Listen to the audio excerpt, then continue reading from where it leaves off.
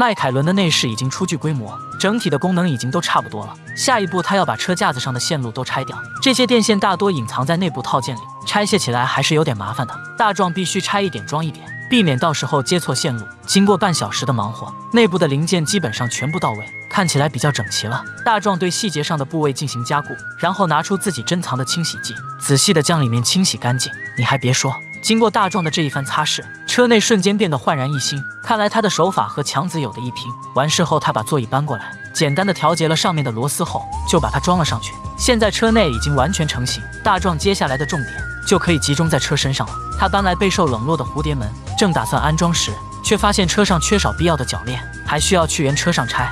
说起这个蝴蝶门，我想大家肯定都熟悉，但你们知道这个名字的由来吗？蝴蝶门的铰链一般都安装在 A 柱或者靠近 V 柱的翼子板上。车门通过铰链朝上方开启，斜向上扬起的车门就如同蝴蝶展开的翅膀，因此得名蝴蝶门。现在它已经成为了超级跑车的独特标志。而历史上第一款采用蝴蝶门车型的，是一九六七年发布的阿尔法罗密欧三三 ST R A D A L。当时一经发布，人们就被这种独特的开门方式所吸引，并且还受到了很大的启发，乃至在一年之后，世界上第一款剪刀门车型也诞生了。和剪刀门相比，蝴蝶门的开度很大，驾驶员上下车更加方便，但它也不是十全十美，反而有一个非常致命的缺点，那就是一旦车子翻车倒扣在了地面上，那么就会出现无法开门的情况。不过这也是概率很低的事情，通常不会发生。而且蝴蝶门通常由碳纤维制成，成本普遍很高。好在大壮这辆车没有出什么问题，他把两侧的门装上后，就开始准备装大梁。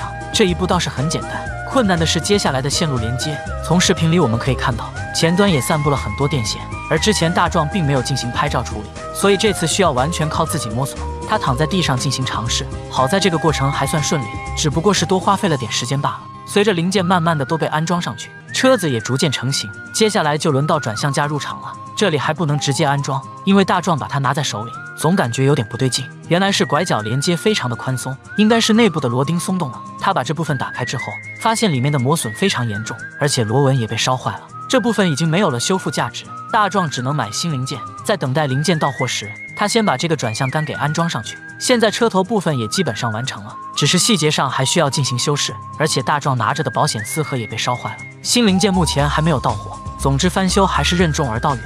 超跑迈凯伦终于成功启动，这台野兽爆发出了强大的动力。大壮悬着的心也放了下来。在之前经过三天三夜的等待后，他订购的零件总算到了。这也意味着迈凯伦的翻修进入了尾声。随着镜头的移动，我们能看到一套崭新的钛合金排气管。钛合金是一种主要的结构金属，具有强度高、耐腐蚀性好、耐热性高等特点，被广泛应用于多个领域。在车子上装钛合金排气管，声音会更加好听，而且有利于车子轻量化。大壮对手里的排气管非常满意，简单的把完之后，就要开始清理一旁的架子。虽然它看起来非常脏，但是大壮却很高兴，因为只有够脏才能体现出他的清洗技术。也不知道他用的什么清洁剂。一番操作下来，用高压水枪一冲，这个零件就变得像新的一样。接着，大壮把迈凯伦抬起来，装上新的转向柱之后，就把这个壳子也固定了上去。它起到了一个兜底的作用，把内部的线路等零件给顶在了上面。大壮拧上后续的螺丝后，就又要开始连接电线了。虽然上级他也在接电线，但是由于工作量太大，也只是完成了一半。这次算是一个收尾。而这辆车能否成功启动的关键，也就在于大壮能否正确连接线路。他自己还是很有信心的。完成之后，顺便装上了控制臂。下一步就是轮胎了。从视频里展示的情况来看，轮毂已经变得扭曲不堪，只能重新定制。他将外面的螺丝拧掉，成功的取出里面的刹车盘和卡钳。这个卡钳虽然有些锈迹，但踩几脚刹车就没了，所以并不影响使用。接下来就是最关键的一步，那就是装保险丝盒。为什么说这是最关键的一步呢？因为这个保险丝盒之前是坏掉的，后来被大壮给修好了。这个保险丝盒一装上去，连接好线路之后，这辆超跑就能发动了。可就在这时，却出现了意外。只见线路一插上去，车子就发出了警报声，这可把大壮吓了一跳，赶紧来到车内检查情况。只见仪表盘上显示了一串不知名的代码，大壮认为应该是电池的电量不足了，而且还有其他细节没有修复，所以有代码出现很正常。接下来他会给电池进行充电，然后给车子加上冷却液。接着大壮拿来一个管子。把它连接在卡钳上，然后转动螺丝，把残留的制动液都释放出来。这部分完事后，他又把车子升高，给里面倒上机油。最后，他把充好电的电池塞进去，又给车子加满了油。一切准备就绪后，大壮怀着忐忑的心坐进了车内，按下了启动键。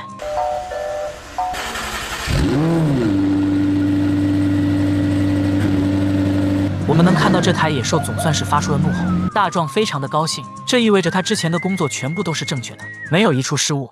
接下来他可以放心的进行收尾工作。当他准备往车上装悬挂时，发现原来的零件出现故障，需要找人修复。在等待的同时，大壮要把车上的散热都固定。之前为了尽快的发动车子，他只是将上面的零件草草连接。现在车子的主体已经完成，接下来就是对细节的加固。大壮将车上所有的接口连接，然后把一桶冷却液加入车内。为了让液体遍布全车，他再次发动了车子。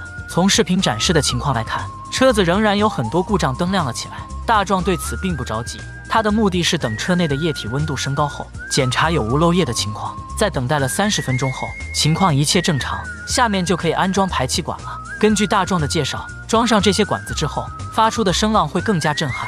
在开始安装之前，他把车上残留的管子都取出来，由于它们大部分都藏在里面，拆卸的过程非常麻烦。而且从视频里展示的情况来看，它们的状况非常差，有些甚至还是塑料件。这次进行更新之后，大壮就能开着它可进灶了。而且从他的描述来看，拆掉的金属管道非常重，很不利于车子的轻量化。经过大壮接下来的一番操作，这辆迈凯伦直接摇身一变大升级，各方面都会变得更好。排气管装好后，大壮让搭档上去试车，同时自己在后面检查有没有其他问题。这声浪听起来非常不错，而且运转的也很顺畅。接着他把其他的大件装上去，然后在表面盖上套件，这辆车就差不多完成了。接下来就可以开始喷漆。他打算把车子变成黑白配色。这样看起来更干净。正说着，突然来了一个快递。从外表上看，有点像一艘倒扣着的小船，但随着外包装慢慢被撕掉，里面完整的车门暴露出来。虽然外表看着和新的一样，但其实这是一个二手货，在门的边框上有一些磨损。不过不仔细看的话，根本发现不了。有些人可能会好奇，之前车子上已经有两个车门了，大壮为什么要再买一个？其实是因为原本的门破损的太严重了，也不是不能修复，硬要修的话成本会非常高，所以非常不划算。大壮把新车门里面的东西拆掉后，成功的把面板分离了出来，严丝合缝的装到了车上。接着他又把另一侧的车门拆下来，用打磨机进行初步处理。这里他并不会全部打磨，而是把有瑕疵的地方的漆都磨掉，先进行修复。等这扇车门完全没问题后，才可以进行整体处理。大壮从包裹里拿出一罐腻子，从里面挖出一些进行搅拌。等混合的差不多后，将其均匀的涂抹在车门上。差不多风干之后，就进行打磨。这个车门就初步处理完成了。接下来就是对套件进行喷漆，这一步涉及到的零件很多，如果不是同时喷漆的话，很可能产生色差。好在大壮有一个够大的喷漆室，他把上面的套件全都拆下来。这里我们能看到，其中的一个还残留着原来的黄色。大壮并没有进行打磨，他打算直接喷漆覆盖，这样的话效率会更高。只见油漆喷上了一层又一层，最终所有套件都变成纯白色。接着他打开加热系统。在等待风干的同时，大壮来到了迈凯伦的专卖店，将自己订购的零件全都带回去。不过现在他并不打算安装，因为原本的车身套件需要二次加工，保证漆面低质感。他把风干后的套件再次拿到漆房进行二次喷漆，这一次就比上次要细致多了。在开始前，他做了非常仔细的清洁。